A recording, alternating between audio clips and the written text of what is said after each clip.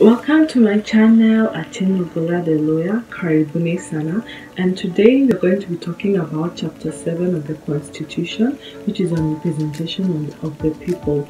Basically you're going to be analyzing what the constitution says about election and how elections are to be conducted. Then I will give a sneak peek into the various electoral laws that are in Kenya. If you enjoy the video, like, share and subscribe.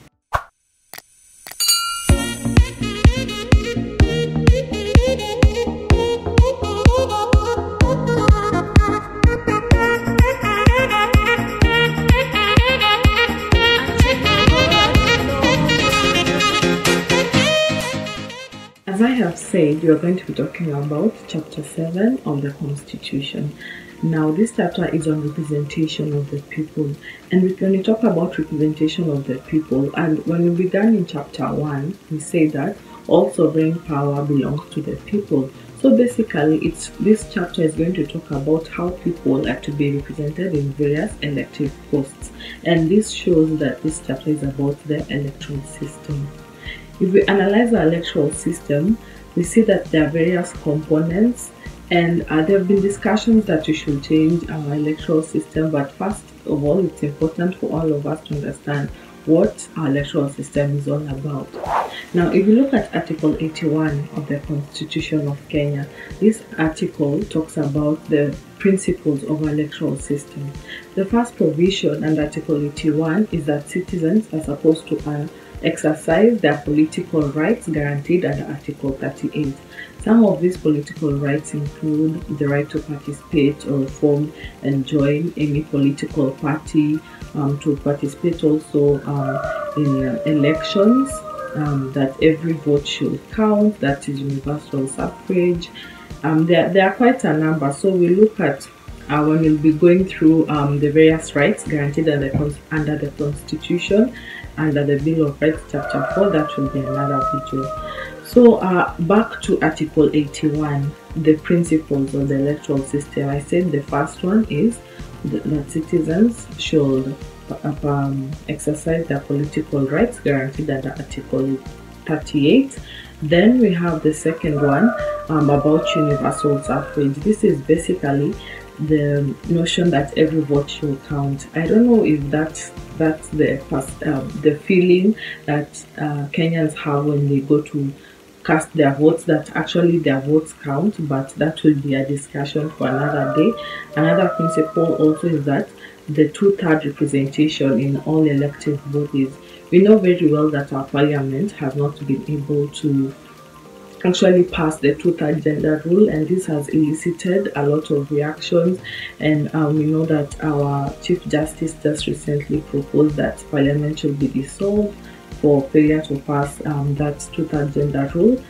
So that will is also among the principles and of course now representation of the people living with disabilities and all other um, uh, marginalized groups. So basically our electoral system um, looks at inclusivity a lot because if we see that all these um, important tenets are being factored in, it is a very, let me say, progressive type of electoral system. Even as we are still continuing this discussion, we also want to now analyze that the various, let me say, requirements for one to be a voter because now the constitution provides um, how someone is supposed to uh, register not actually the constitution i would say first of all that the constitution provides for the requirements yes that one's supposed to uh, have to be an eligible voter. Of course that person person should be of sound mind that person of course should be an adult citizen and then that person should not have been convicted for any electoral offense within the last five years then we also see that the same chapter provides for now the IEBC. The IEBC is actually the body mandated to conduct elections in Kenya. And uh, previously we've had the electoral, it was, I think it was called the Electoral Commission of Kenya, yes, the ECK. So now it is the Independent Electoral and Boundaries Commission. Now they have various mandates, including um, the limitation of the uh, constituencies, um, ensuring they oversee and facilitate the whole election. They're supposed to ensure that also uh, when a referendum is conducted, it meets the standards set out in the constitution. So in also by elections, they're the one who run the whole process. So basically, um, the constitution just provides for the constitution uh, the mandates for the IEBC, and uh, if you look at these mandates, they are underpinned also under the provision for commissions. You see, so basically the IEBC is supposed to ensure that the elections that um, are supposed to be conducted in Kenya are free, fair, and verifiable. So there are other important roles of the IEBC I have not mentioned. Um, are just four of them, but they are very core to the functions of the IEBC. The first one is that the IEBC is supposed to ensure that there is a continuous registration of voters. This is to ensure that at the time of the elections, all those who wanted to participate in the elections and are of adult age have been registered so that they can exercise their political rights guaranteed under Article 38 of the Constitution. The other role is the continuous um, revision of the voters' roll. Sometimes we see during elections some people's names do not feature in the, the register, so it's the duty of the IEBC to ensure that the voters' roll is up to date at the time of the elections. Another important role that I had not mentioned is that um, the IEBC is supposed to oversee the party nominations and settle the disputes uh, arising out of the nominations. Yeah, we know the nominations um, during the nominations of candidates uh, in political parties is a very hotly contested um, let me say, uh, uh, hotly contested,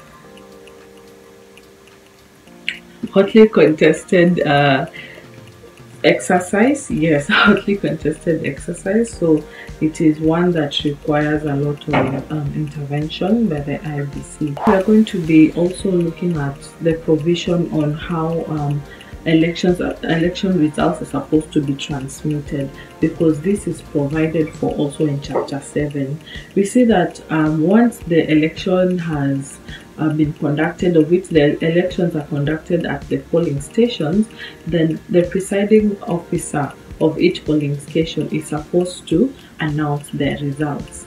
After the uh, presiding officer has announced the results then the returning officer who is higher than the presiding officer is supposed to collect all the uh, the results at each polling station in a constituency and then um, uh, announce those results also.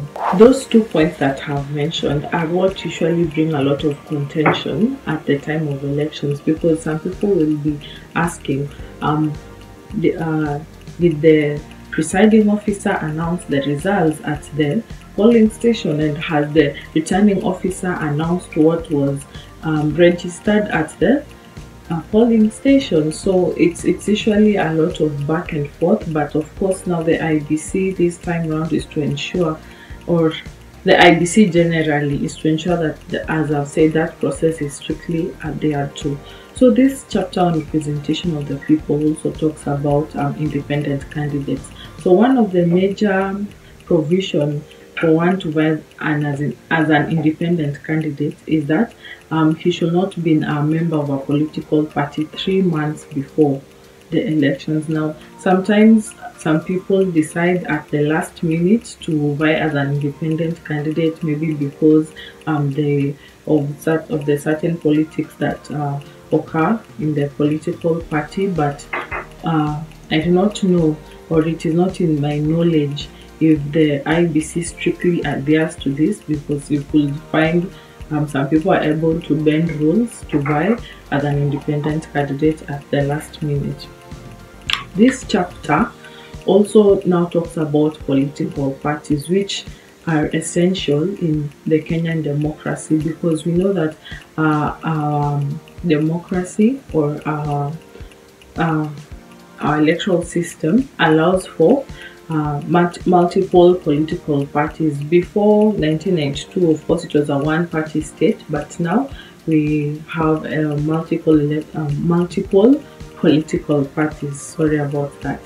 So this uh, uh, the provisions on political parties, of course, is that the political parties should adhere to the provisions of the Political Parties Act, and of course, um, now ensure that all uh, how they are formed complies with the constitution and that um, they are used as a vehicle to be able to further politics in Kenya.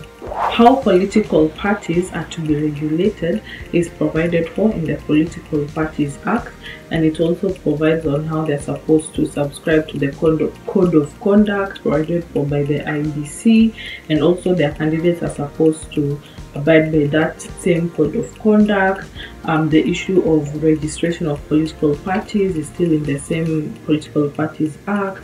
The issue of um, their constitution, their rules, and also um, financing of uh, of financing of political parties, all issues surrounding pol political parties are enshrined in the Political Parties Act. Now, I'm moving to talking about some of the legislations that concerns elections. The first one, of course, is the Elections Act. Now, the Elections Act provides for everything on the procedures, the systems to be used, all issues surrounding elections. Then we have the um, we have the IEBC Act. Now, the IEBC Act is the one that uh, provides for how uh, the various commissioners are to be appointed, the, the various functions in detail, how the commission is to be run, all the, the administrative issues around the IEBC is provided for under the IEBC Act. Now we have the Election Offences Act. Now this act provides for all the um, provides for now the rules or how elections are to be conducted and the misconduct which are punishable um, during elections. So this act is very robust and for all people who are contesting and political parties they should ensure that they abide by the rules, failure to which they will be convicted um, for election malpractices or offenses. Also, I've remembered another important um, provision under Chapter 7 of the Constitution is when the timelines for electoral disputes. Now, it provides that electoral disputes are to be to be filed within 28 days of the announcing of the re results, the national results. So all those who have um, issues that maybe the elections were rigged or uh, they feel that they, they were not conducted in a free, fair, free and fair manner, they should raise their complaints, especially, of course, now electoral disputes are now to be, uh, to be adjudicated in court. So they should ensure that they comply with that timeline of 28 days. So in a nutshell, those are the major provisions of the Constitution under Chapter 7 and those are the various acts that deal with elections in Kenya. Just to recap, uh, we've said the acts are the Political Parties Act, the Elections Act, the Election Offences Act, then we have um, the IEBC Act. So I hope this video has been beneficial to all of you. If you enjoyed the video, yeah, give it a thumbs up.